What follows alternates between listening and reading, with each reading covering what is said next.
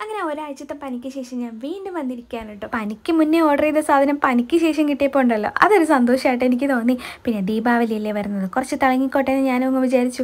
അങ്ങനെ ഞാൻ ഓർഡർ ചെയ്ത സാധനം ഉണ്ടല്ലോ. അത് അടിപൊളിയാണ് കേട്ടോ. കുറേ ദിവസം മുന്നേ ഞാൻ ഇൻസ്റ്റാഗ്രാമിൽ ഇതിന്റെ ഒരു വീഡിയോ കാണുന്നുണ്ട് കേട്ടോ. വെള്ളം ഒഴിക്കുമ്പോൾ കത്തുന്ന ദീയാണ് പിന്നെ പിന്നെ നോക്കുമ്പോൾ ഇതിന്റെ വീഡിയോസ് മാത്രമേ ഉള്ളൂ കാണാനായിട്ട്. അങ്ങനെ ക്യൂരിയോസിറ്റി തോന്നി വാങ്ങിയതാണ്.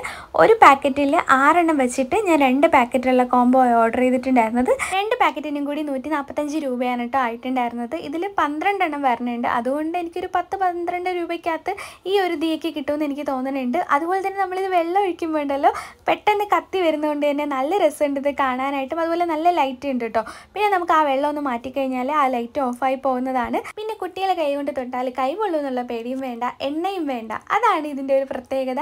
ആര് കണ്ടുപിടിച്ചതാണെങ്കിലും എന്തായാലും നല്ലൊരു ഐറ്റമായിട്ട് എനിക്ക് തോന്നിയിട്ടുണ്ട്. പിന്നെ എന്റെ ഒരു സ്വഭാവം വെച്ചിട്ട് ഞാൻ ഈ വില കുറയുന്ന സമയത്ത് നോക്കിയിട്ട് സാധനങ്ങൾ വാങ്ങിക്കുന്ന ഒരാളാണ് കേട്ടോ. അങ്ങനെ കിട്ടിയ ഒരു ഐറ്റമാണ് ഇത്. ഇത് ഓൾ ഷെൽഫാണ് കേട്ടോ. ഇത് പ്ലാസ്റ്റിക്കിലാണ് വന്നിട്ടുള്ളത്. ഇത് ഒരെണ്ണത്തിന് അറുപത് രൂപയായിട്ടുണ്ടായിരുന്നുള്ളൂ. അങ്ങനെ രണ്ടെണ്ണത്തിന് നൂറ്റി ഇരുപത് രൂപയ്ക്കാണ് ഞാൻ വാങ്ങിയിട്ടുള്ളത്.